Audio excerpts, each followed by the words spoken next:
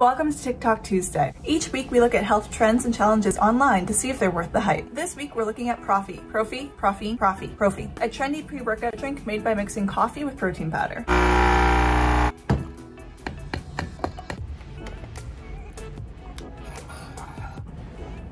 So this isn't the worst thing I've ever had to drink. The texture is definitely off. I don't think I mixed it well enough. I didn't add any sugar or anything like that to this drink, which is kind of promising. I was hoping it would taste more like a caffeinated chocolate milkshake, but that is not the case. It does not taste like that. But uh, this isn't something I'd want to drink before every workout. I don't think I'd do it. So the researchers I spoke to have said that you're probably going to want to wait about 60 minutes to two hours before you work out, depending on if you're used to working out on an empty stomach or not. This is going to give your body enough time to absorb the caffeine for maximum impact and also digest all the protein. So you're not going to get an upset stomach when you work out. So I'm gonna finish this. I'm gonna wait about an hour and go on my run and then we're gonna see what happens.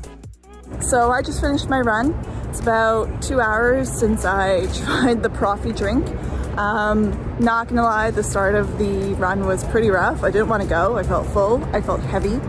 I felt pretty gross. Uh, once I got into it, it was good. I finished everything that I wanted to. Um, but yeah, not a great experience. I don't think that's something I'm gonna be trying again. So do I think I'll do this again? Probably not, not for me. Wasn't a huge fan of the drink and didn't notice that much of a difference when I went for my run. I am a coffee drinker, so I normally will have a cup of coffee before I go out for a run.